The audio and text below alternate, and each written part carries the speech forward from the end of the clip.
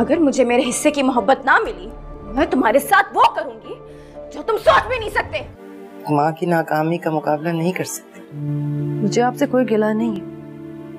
ना ही मैं आपसे नाराज़ हूँ। महा ने जो मुश्किल वक्त देखा है, उसे अच्छे से अंदाज़ा है कि नूर जहाँ किस किस्म की औरत है। इसीलिए अपनी शराइत पर जिस तरह वो घर वापस आई है और सफ़ीर के दिल में भी उसके लिए और ज़्यादा मोहब्बत पैदा हो चुकी है। महा जानती है कि ये मोहब्बत उसके लिए नहीं, बल्कि उसके बेटे की वजह से है। इसीलिए वो अपनी जॉब को कभी भी छोड़ने वाली नहीं। उसे अंदाज़ा है नूर जहाँ किसी भी वक्त उसे घर से निकाल सकती है।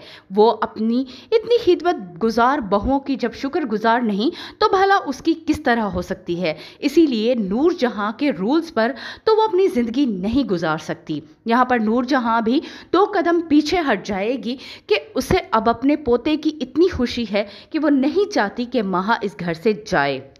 नूर जहाँ जिस तरह से अपनी बाकी तीनों बहुओं के साथ डील कर रही है, उसे देखकर महा को अंदाज़ा हो जाएगा कि अगर वो अपनी शराइत पर यहाँ ना आई होती तो शायद इससे भी बुरे सलूक उसके साथ किए जाते। क्योंकि जिस तरह उसने सफ़ीर से छुप कर शादी की थी, उसके बाद तो उसका हाल इन सबसे भी बुरा होने वाला था। हुनैन को अपनी माँ की बातें हजम नहीं हो पा रही होंगी।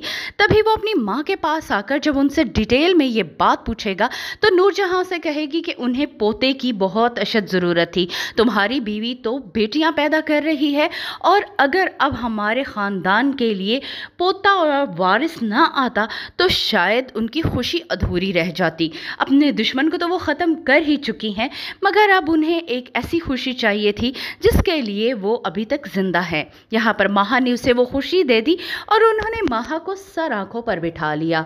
ये बात सुनकर हुनैन को थोड़ा सा गुस्सा भी आएगा कि उसकी माँ उसकी बेटी के बारे में इस तरह बोल रही है। हुनैद को अपनी बेटी से बेनतहा मोहब्बत होगी और यहीं पर नूरवानों को मौका मिल जाएगा कि किस तरह मुराद और हुनैद के दरमियान गलत फहमियाँ पैदा करनी हैं। हुनैद ने जिस तरह अपनी माँ के पीछे लगकर मुराद के बारे में फैसले किए थे, उनका असर अब होना शुरू हो ही जाएगा।